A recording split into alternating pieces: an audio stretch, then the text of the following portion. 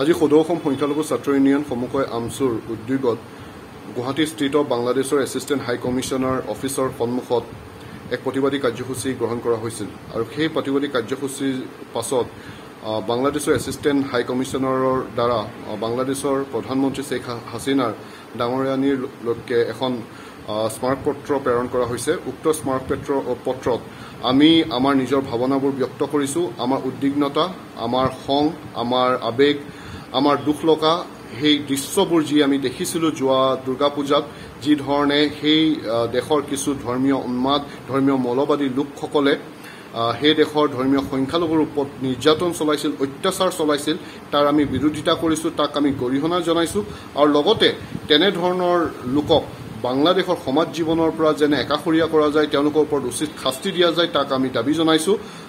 বাংলাদেশে কেতিয়াও এইটো পাহৰিব নালাগে যে ঊনৈছশ চনত তেওঁলোকৰ স্থাপন হোৱাৰ মূল আদৰ্শ আৰু উদ্দেশ্য আছিল ধৰ্ম নিৰপেক্ষতা তেওঁলোকে ধৰ্মীয় উন্মা- উন্মাদক ধৰ্মীয় উত্তেজনা তেওঁলোকে বিৰোধিতা কৰি ৰাষ্ট্ৰবাদত আৰু জাতীয়তাবাদৰ নামত সেই দেশখন গঠন হৈছিল য'ত প্ৰত্যেক ধৰ্মৰে সম অধিকাৰ থাকিব থাকিব বুলি সেইখন দেশৰ ফাউণ্ডিং ফাদাৰ শ্বেখ মুজিবুৰ ৰহমানে কৈছিল।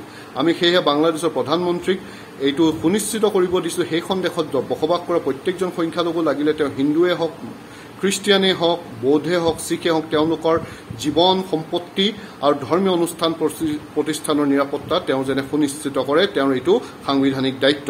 লগতে আমি এই কথালৈ উদ্বিগ্ন হৈছোঁ। লগতে আমি এই কথালৈ কাৰণে চিন্তিত হৈছোঁ যে গোটেই বিশ্বতে এতিয়া ধৰ্মীয় এক ধৰ্মীয় উন্মাদনা ধৰ্মীয় উত্তেজনা সৃষ্টি কৰি যি ৰাজনৈতিক লাভালাভ ল'বলৈ চেষ্টা চলোৱা হৈছে বিশেষকৈ আমাৰ ইণ্ডিয়ান ছাব কণ্টিনেণ্টত কণ্টিনেণ্টত ইণ্ডিয়া পাকিস্তান বা বাংলাদেশত আহ, যি ধৰণে আহ, ধৰ্ম ধৰ্মীয় আৱেগ ব্যৱহাৰ কৰি নিজৰ ৰাজনৈতিক মুনাফা আদায় কৰিবলৈ বিচাৰি আছে সেই তাক লৈ আমি বিৰোধিতা কৰি আহিছিলোঁ আৰু বিৰোধিতা কৰি যাম।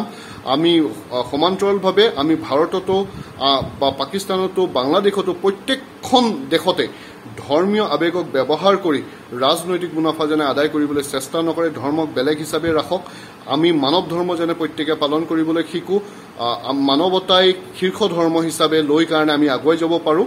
আৰু প্ৰত্যেকে যেনে প্ৰত্যেকৰ ধৰ্মীয় অনুভূতি আ- আ, সন্মান জনাওঁ কাকোকে যেনে কাৰো ধৰ্মীয় অনুভূতি যেনে আমি আঘাত নকৰোঁ তাৰ প্ৰতি আমি লক্ষ্য ৰাখিব লাগিব।